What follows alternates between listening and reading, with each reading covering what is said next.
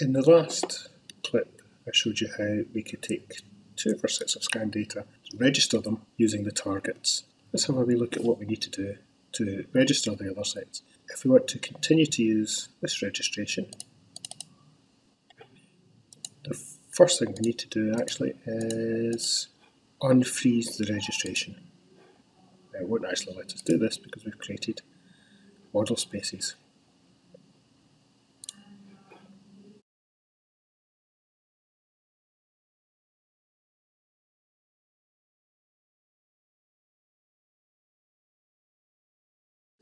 Unfreeze, be sure, and now it's let us unfreeze. The constraints are still here, and we can still view the interim results. Not going to save that. So we can now add the other scan worlds. So we now have all of our worlds here. We can actually preview these. Go to model spaces. Preview, for example, 1 and 5 together. With all of the different scan worlds added in, we might want to register all of these together. What we can use to help us is the Cloud Constraints Wizard, which allows us to select pairs of worlds to constrain and register. Station 1 and Station 2 have already been done with the points, so that's already ticked for us. We can try and register everything with everything else. So we can't register something with itself. We might decide that some of this is going to be redundant. So we've already got 1 and 2. Do we need to also do 1 and 2, 1 and 3, 1 and 5, 2 and 1, 2 and 3, 2 and 5, and so on? Do we really need all of those pairings? Get better scans if we do, so let's have go and see how to do this. So we're going to be offered a pair of scans at a time, so this is 1 and 5. The first challenge is we need to pick part of the building that's visible in both scans. So I'm going to choose the multi-point picker. Uh, I'm going to try this quite roughly just now, and then we can zoom in and see if I've actually got three appropriate points. Normally we want to zoom in a lot closer. I think our points can be within about 15 centimetres and it should be okay. So we want to double check that's actually roughly the same point, so it's in the corner of that pillar, and we can see that white point is indeed the same of both. Door frames are quite good to use. We can see actually in these scans that doors themselves are not so good because doors have a habit of opening and closing. But on this door frame, this point there, and that's the same door frame there. Again,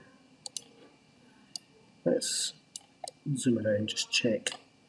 That's quite a bit of a mess there, so you know you obviously want to be a bit closer in. So we can, enter multi-pick mode, if we click on the point again, we'll actually deselect it and try and get it back on the door.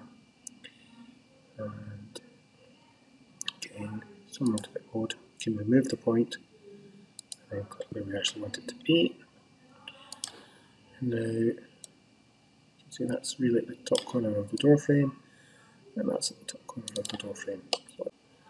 And we want to find a third point, and we're trying to avoid picking three points in a line or in a plane. So we want this point to perhaps be this wall over here on the left might be good, and maybe a bit lower down. So Let's just see if there is a point over here that will do it.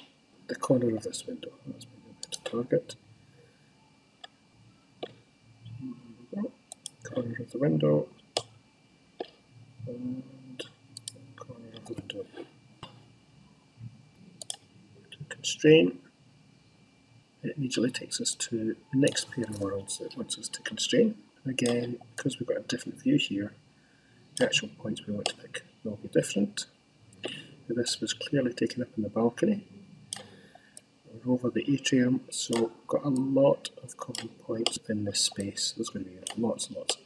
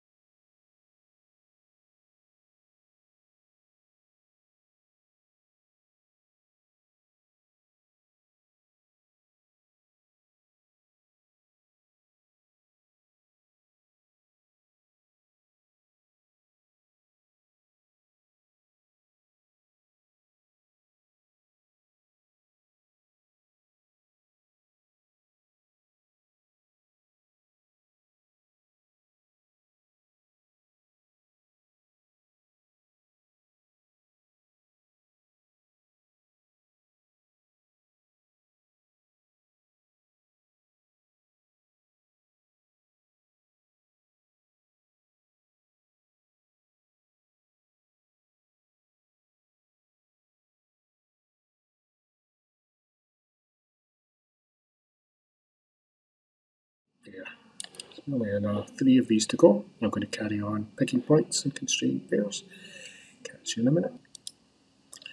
Okay, I'm trying to match 5 and 3 1.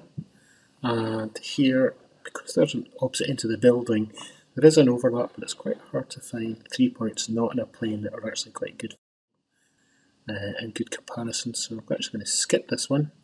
Just go to next pair. And then pick lots of pairs of points to do my registration. It's going to try and do more matches. And it's trying to match up the, the worlds that haven't been done before.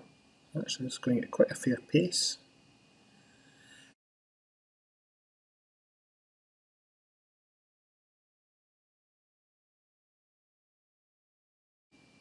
Auto add cloud constraints.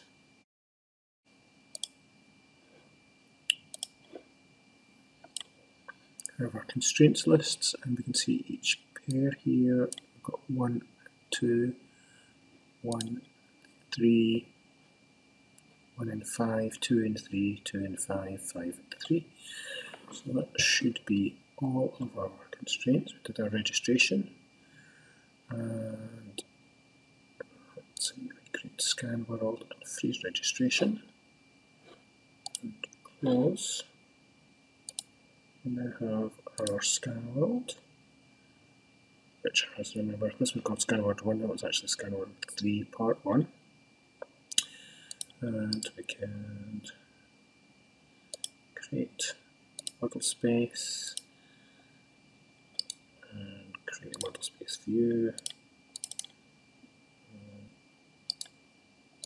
From this. And now we can see we've got places like here where in one scanner not the other. We've got a lot more of the upstairs data. Uh, so we've got there were two scans for the ground floor of the lobby. There was one scan up here, and you can see we've got all the first floor data as well.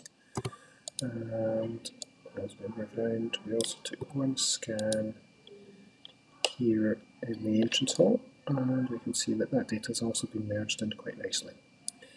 So we've got all of these now in one world view. Perfect.